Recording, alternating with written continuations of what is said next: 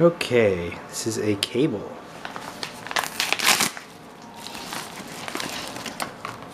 And it is what it says. It looks like an FTDI cable. There's the adapter, plugs into USB, and then you get the breakout of the serial and the power and everything here. Nice.